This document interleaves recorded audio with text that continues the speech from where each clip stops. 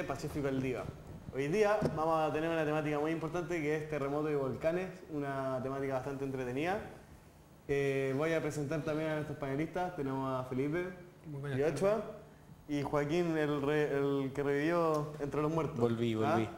Ah, así Y que un- un ah, un invitado especial. invitado, invitado especial, eh, Francisco. Que siempre Alias está aquí Cas. cuando lo necesitamos. Así es.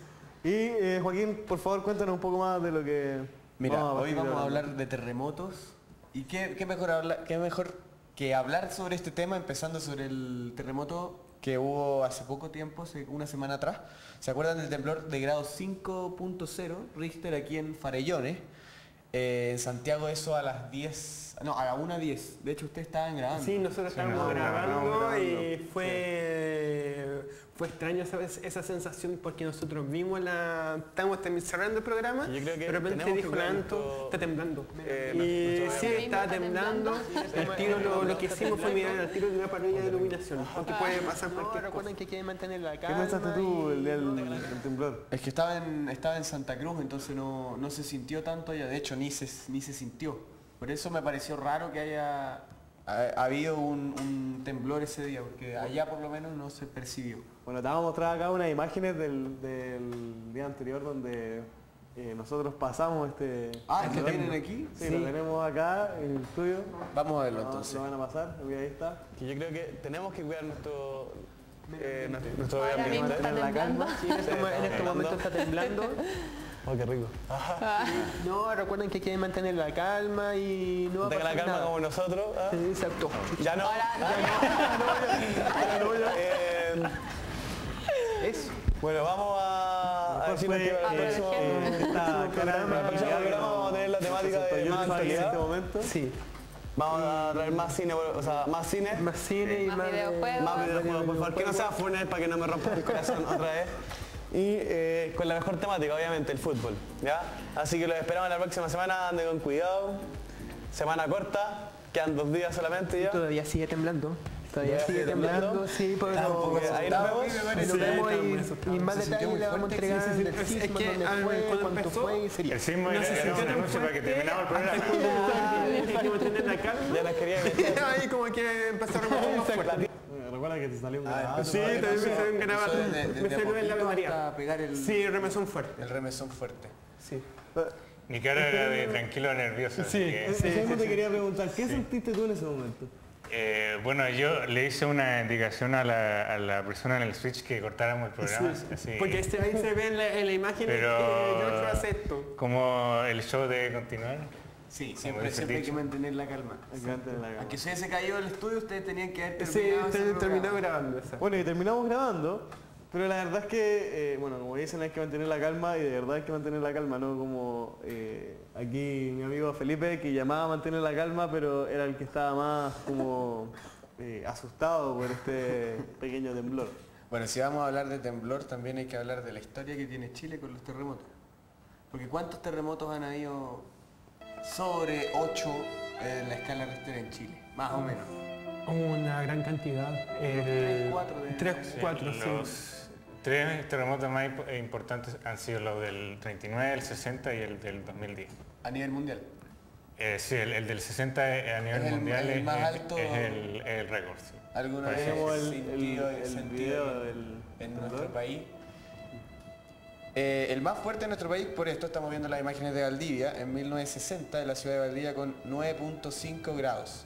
Ahí hubo más de 1.600 muertes, las que produjeron principalmente por el posterior tsunami que azotó la zona.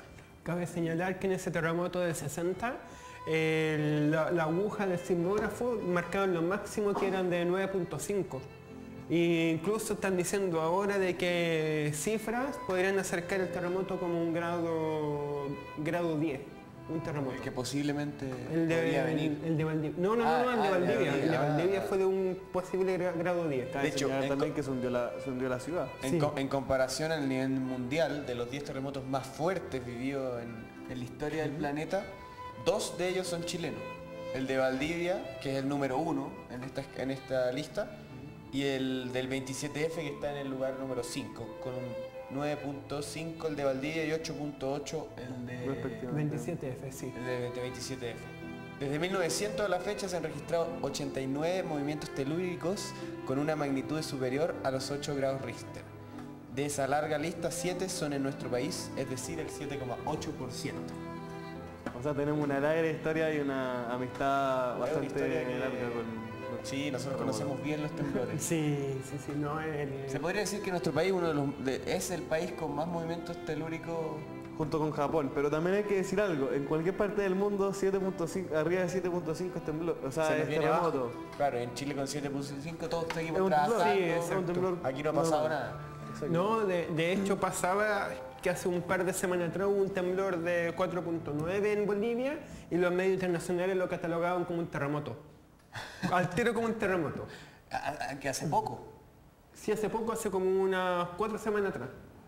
Ah, pero eso aquí en Chile ni se tocó. Sí, aquí aquí no, Yo creo también que depende de la infraestructura que tengan Sí, los ahí- la países. ciudad donde, donde sepa, porque creo que hace tiempo hubo uno en Italia, 5 puntos y algo, y se vino abajo media, sí, media ciudad, media sí. ciudad. Es que igual depende, depende por la infraestructura y sé que si están bien, Chile bien adecuadas. Chile es un país la- preparado para Sí. tipo Sí, de sí. problemas.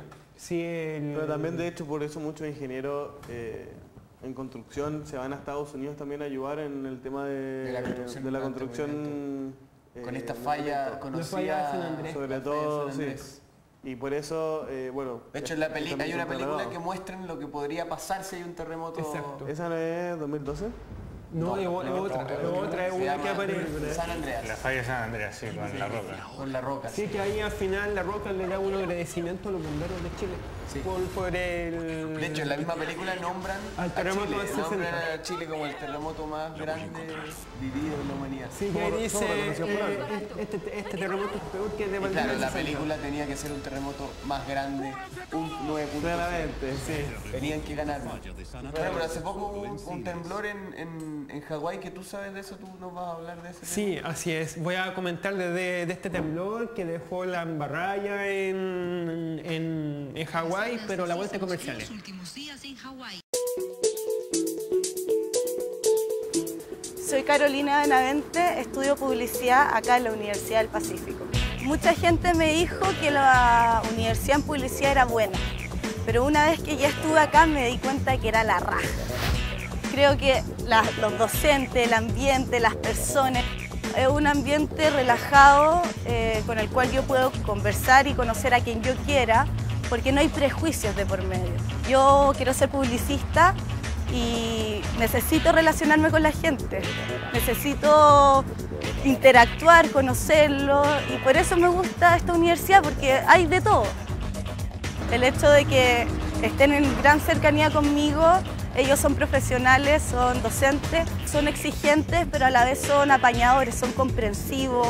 Si tengo algún problema, siempre van a estar.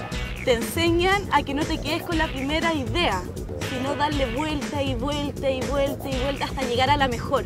Tengo las herramientas del corazón, tengo, eh, tengo alegría, sé hablar, me sé expresar y la universidad aparte me está ayudando a pulir todas esas herramientas que tengo yo. Me están haciendo ser una gran persona y quieren que sea la mejor publicista. Universidad del Pacífico. Creatividad para emprender. Sí, así es, como, como, como les prometí la- antes de la vuelta a comerciales, vamos a hablar sobre el fuerte sismo que sufrió Hawái la semana pasada, el cual... el- Ahí tenemos imágenes. Hay, hay se están viendo imágenes de la, del sismo y después erupción de volcán llamado Kilauea. Kilauea, ¿no? Kilauea, sí, un se llama, se llama así Kilauea. Un, un Qué nombre, buen- qué buen nombre. Sí, Ah, qué bastante buen nombre, práctico. El, el sismo que entró el, el jueves pasado en erupción y ocasionó una evacuación de 1.700 personas. El, el ocurrió a 5 kilómetros de profundidad a las 12.32 hora local. Y el epicentro se ubicó a 16 kilómetros al suro- suroeste de Leilani State. Tras la erupción, la autoridad habilitaron dos albergues y evacuaron la zona residencial más próxima al volcán. En esta zona residencial se habían abierto varias grietas de las que salieron lava y vapor. El volcán Kilauea está localizado al sureste de la isla de Hawái, que en su extremo suroriental es la mayor del archipiélago y en la que viven unas 185.000 personas. Y a- aparte de este tema, además hubo un temblor, un terremoto. Sí. De- eh, ¿Ya estaba en erupción el volcán? Sí, estaba, estaba en erupción y ese temblor fue de un grado 6,9. Que ahí todo ese sismo, ese, sismo, ese sismo inició la alerta porque ya ese volcán se encontraba ya en una fase de erupción, pero que ahora ahí estalló con todo. De hecho ahí se... ¿Provocó, tsunami, algo? No, No, se hablaba nada, nada, nada, nada, nada. Solo, solo, solo que ahora están hablando del evacuado, que ha desplazado a más de 1.700 personas. El problema más grande que tiene que haya eh, erupcionado un volcán en Hawái es que la gran parte de Hawái son volcanes. Son volcanes, claro. Entonces, ¿qué pasa? Si se activa uno, se se activa uno, se el activa el resto y si se activa el resto, se hunde la ciudad. Hawái puede llegar hasta desaparecer. Eso Puede desaparecer por la agua volcánica. Entonces, eso es lo que también eh, tenían Lo que preocupa al, al- al mundo. Claro. Exacto. De, de hecho hay, hay imágenes impresionantes, no sé si ustedes Bueno. la han visto, de que muestra, de que Ahí está. muestran la. Sí. Hay, pero hay otra más que muestran que la lava se consume en auto. Pasa la lava encima de un vehículo en forma de timelapse. O que la. O que, o que se muestra de que el, el, el cemento de las carreteras se parte Ahí está. y ahí está, sale está, lava entre medio. Justo ahí está la Sí, ahí se calle ve todo. partida. Ahí se ven las calles partidas, pero hay otra más que sale lo- los globitos de lava en- emergiendo entre medio de la, de la lava. Que mira, en ese, en ese, en ese tipo de, de problemas, ¿qué es lo que hay que hacer? Como, como uno, como persona, como ciudadano, se... Tiene que preparar para sí, hacer eso, eso. eso. Yo creo que eh, debe ser eh, una evacuación normal, salir de tratar de de eh, salir un poco más de- del lugar donde se está eh, donde está sucediendo el, Sí, el incidente claramente. Y mantener la calma es una de las gran cosas que Como nuestro amigo lo hizo en el- en el como- video. como Felipe lo hizo y, y también en, en el video anterior. Eh, la calma yo creo que es lo primordial dentro de todo, de cualquier catástrofe, cualquier cosa, tsunami, terremoto, temblor. El ponerse nervioso te hace ser un poquito más estúpido en tus movimientos tal vez. o- Te hace no pensar en frío, yo creo, y eso es lo que también genera eh, después eh, que la gente se pelee, que la gente se va a matar, o qué sé yo, dentro de todo este con- contexto, porque la gente pierde la calma, pierde el la sentido común, del tiempo, todo, todo, pierde el sentido todo. común. Entonces al final no es ella la persona que está actuando. Me, me acabo de acordar, no sé si ustedes se acuerdan de la erupción del que hubo en el volcán Chaitén en el 2008, Sí, sí, claro. que dejó eh, prácticamente al pueblo desolado, ¿no? Hubo- Creo, creo que lo dejó desolado, de hecho. Sí, de De hecho, hecho, sí, De hecho, hubo- fundaron una nueva ciudad, creo que se llama sí, Nuevo una- Chaitén, Chaitén Sí, Nuevo. la, la- la- la fundaron, pero ese... El gobierno obligó la, la evacuación total de de esa zona. del pueblo, sí. Pero de, de hecho en el mes de enero, no sé si se acuerdan que hubo una, un tema de un aluvión allá. Que, que eso también fue a causa de que como el volcán arrasó con todo, la, la- los árboles quedaron todos bajo, bajo el agua, bajo, bajo la lava, y, eso provocó los- la caída de grandes sedimentos, lo que provocaron el posterior aluvión que sucedió en, en enero. Eh, ¿cuál, tú, tú sabes algo sobre...? Porque Hawái pertenece a Estados Unidos, ¿no? Sí. ¿Estados Unidos no ha dicho nada sobre el tema? ¿No, no se ha referido? Eh, no, no se ha referido todavía sobre el tema, más que nada que lo que están evacuando, eh, las autoridades ahí de podemos ver cómo se quema. las autoridades locales han hecho todo lo humanamente posible y si no Ahora me solo hay que equivoco, esperar que el volcán pare. A decir y y, que las fuerzas de, de tarea de Estados Unidos en California decían eh, cuándo poder eh, evacuar o limpiar esa zona ya que está con lava caliente y Sí, claramente si la toman ¿Hay alguna manera de apagar eso? eh, de no. manera natural, de manera, de manera natural. natural se paga con el ambiente. Sí, porque si uno le tira agua a la lava, es como tirarle agua, agua al aceite quemándose. Se Ah, peor. o sea, es mucho peor. Es mucho peor, exacto. De, de hecho, eso, eso, eso estaban planeando hacer con el volcán el Yellowstone, ¿Ya? que también es un supervolcán que en, la última, la última en los últimos meses han, ha existido una gran cantidad de de sismo y que pueden decir que puede, que puede haber un, un problema mayor con ese, con ese supervolcán.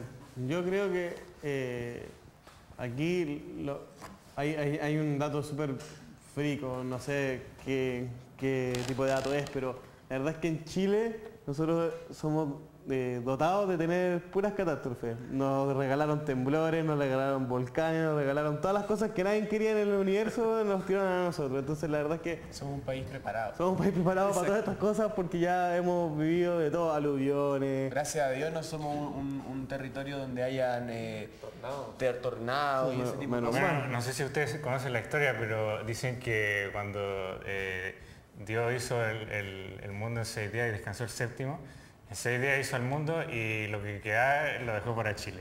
Todo lo puso ahí. Así parece. pasa ahí, sí. De hecho, eh, hoy día en la mañana estábamos leyendo un, Comunicado. un comunicado o algo en, en internet y, y con Felipe nos dimos cuenta, ¿te acuerdas? El, del tema de que eh, parece que va a haber un, un huracán acá en Chile Ah, porque- sí. y por eso no ha llovido. O sea, más encima nos tiraron un huracán ahora. Sino que en, en la, en la última, en la última, en los últimos días, la comunidad científica ha estado alerta, porque primera vez que sucede que se forma un anticiclón en el Pacífico con características de un huracán.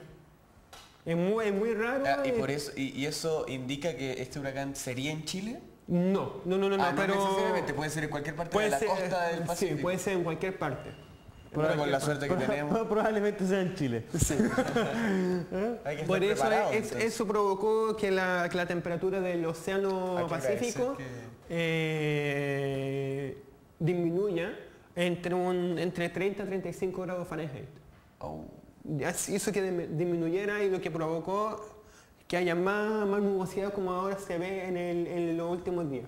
Gracias a Dios tenemos un espectacular servicio de la ONEMI, entonces no hay Sí. ningún problema. excelente. Claro. Todas las cosas estatales funcionan tan bien en este país que no, Pero que no sigue va a el pasar.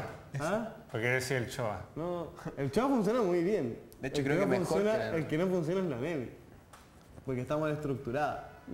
Nunca ha servido. De hecho, creo que habían comprado antes del terremoto como 300 teléfonos y ninguno de los teléfonos funcionaba, no tenía ningún cable. Estaban los teléfonos, pero estaban desconectados. ¿Cuál es el fin de comprar 300 teléfonos que no van a funcionar? Calmar a la gente, claro, pero no. Ni, ni siquiera las autoridades tenían uso para usar No, un teléfono. Bachelet quizás estaba esa- comiendo esas ahí en la como ver que la lava salta. Sí, salta. Ah, ahí ahí, ahí sí. era como, como yo le contaba que, que la lava saltaba. meterte camiones- la... ¿Ha la- habido algún, algún, eh, alguna información de ya gente fallecida por este tema?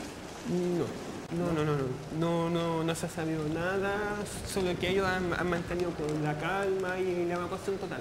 Justo lo la que. Felipe no tuvo, pero La calma. La calma, la calma, exacto. la calma que, como yo decía, la calma es lo primordial dentro de, de todas estas cosas. Bueno, Francisco, tú como nuestro invitado, ¿nos puedes decir qué opinas sobre esto que está sucediendo en Hawái? Es una, una alerta total, Mira, a mí me llama la atención y lo encuentro como terrorífica esta cuestión. casi de película. Sí, es de película, es de película de terror porque que se empieza a partir la tierra y a salir lava Es como es extraño, una cosa bien, es bien sobrenatural. claro, claro, y- Sí. y, da para pensar, chuta, ¿qué está pasando? ¿Qué va a pasar? ¿Qué, qué viene después de esto?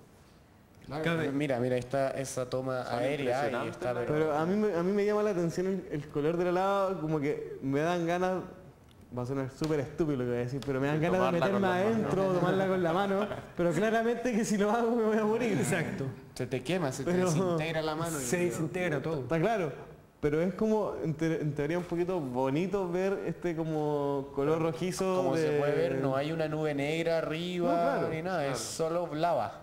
Pero mira esas imágenes bonitas de ¿En Chile, ¿En rojo. Chile ha sucedido algo así?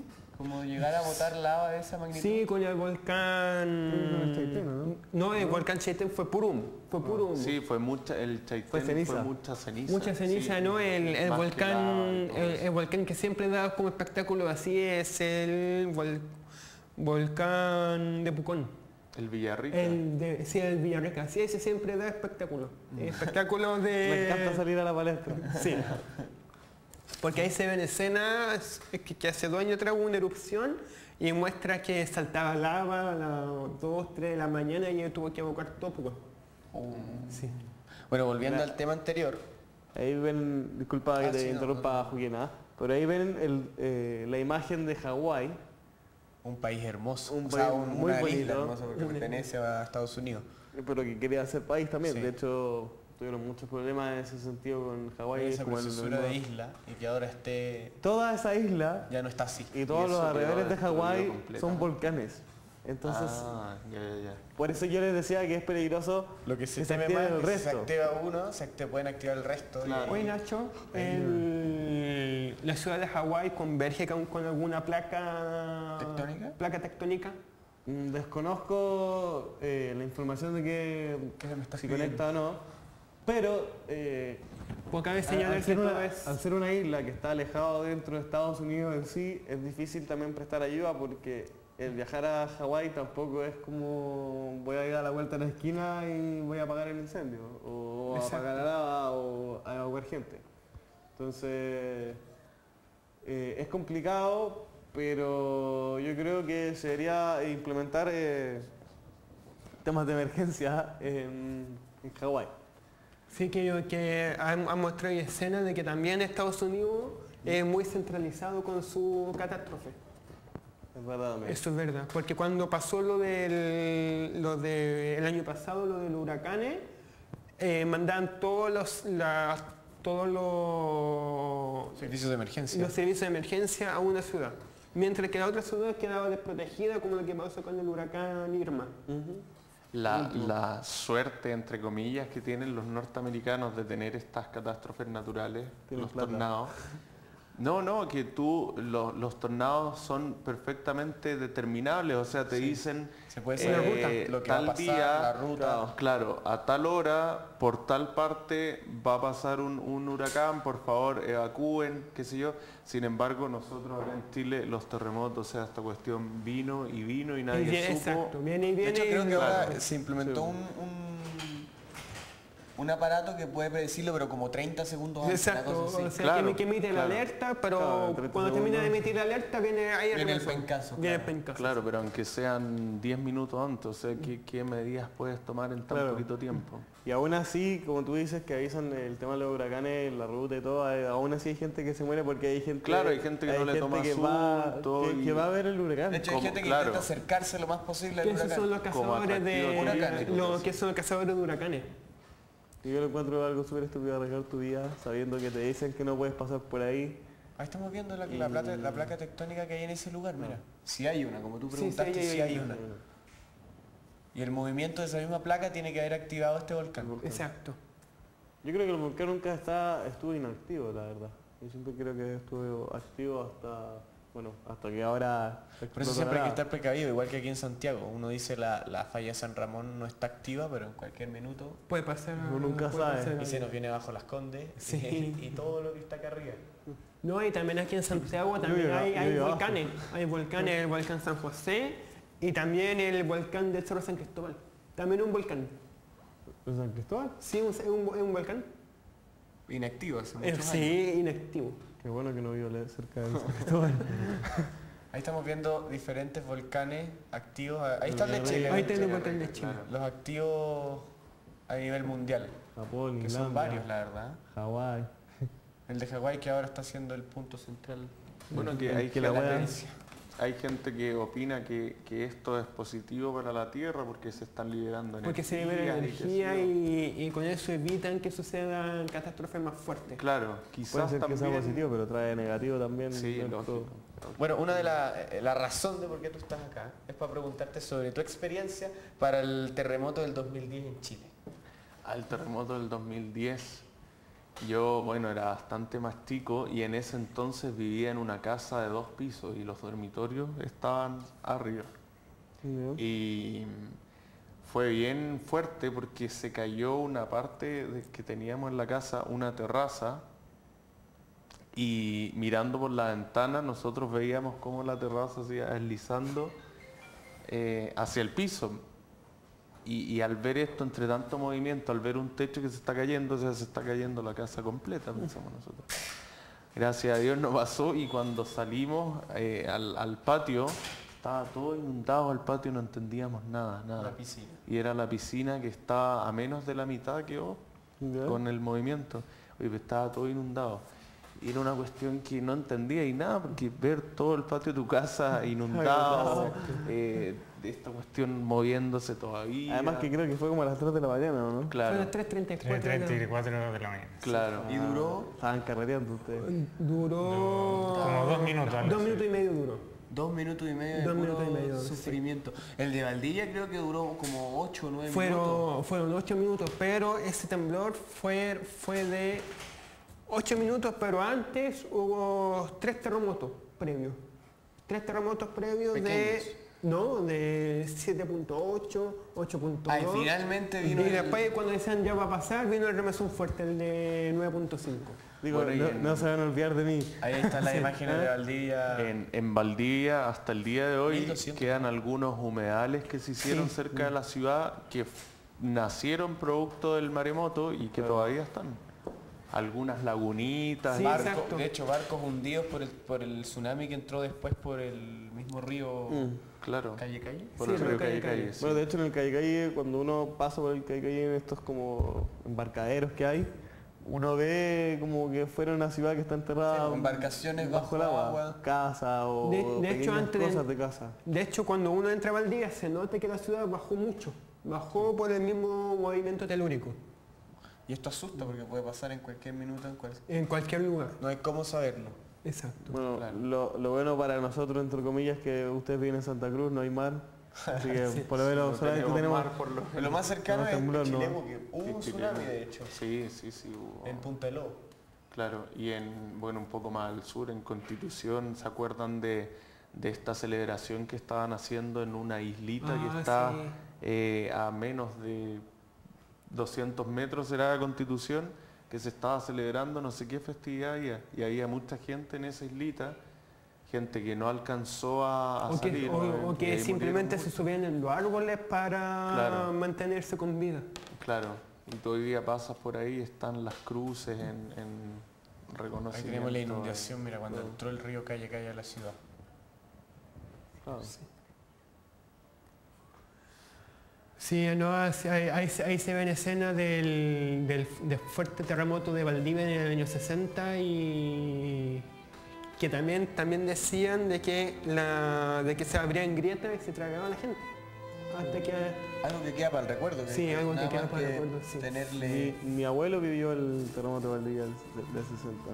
De hecho estaba ahí, y ayudando con el ejército. Y me dice que fue la imagen más terrible que ha tenido dentro de la, creo que la mitad de su vida. No, y, si y si uno pone esa escena a color, dirían eh, eso es eh, 2010. Eh, igual que en Casi lo 2010. mismo. Casi lo mismo, exacto. Bueno, ¿algo más que decir aparte de temblores, volcanes, algo así? No, nada más que decir. Felipe, Nada. Joaquín, No es un tema Nuestro- que agrade, pero... nuestro invitado especial. ¿Algo más que decir, compadre? Algo más que decir, yo creo que nos tenemos que, queda mucho eh, por prepararnos como país para este tipo de catástrofes porque estamos lamentablemente en un país, en un territorio donde cada Sísmico. ciertos Se mueve años- todo. Claro. Y el Así problema que- es que siempre la Tierra eh, sorprende, así que no puede- nunca vamos a saber si puede venir uno más fuerte que el último. Por eso tenemos suave. que prepararnos. Así que las grandes recomendaciones son mantener la calma como hace todo y acordarse acordarse de la operación Daisy La operación que Daisy, hubo- uno alguna vez la hizo en el colegio, que ahora se llama Operación Cooper. Ah, le cambiaron el nombre. Sí, En honor a los A la- que- al matrimonio que murió en el tsunami de Tailandia exactamente. hace unos años. ¿Ves? El invitado está más, más informado. ¿eh? Me parece. Mariana Cooper creo que se llamaba Sí, la niña. sí. Francisca. Francisca Cooper. Bueno, nos vemos el próximo viernes en una nueva edición de nuestro programa. Ojalá que les haya gustado esta edición y el próximo miércoles volvemos con más de nuestros temas y con el tema más importante que es fútbol. Fútbol. ¿Ah? No, mentira, eh, todos los temas son acá importantes, pero el fútbol es que predomina porque... Somos dos. Y somos, y somos lo mejor que hay. Bueno, ahí nos estamos viendo la próxima, la próxima semana. Chau, chau. Chao, chao. Está temblando. No, recuerden que hay que mantener la calma y no La calma como lo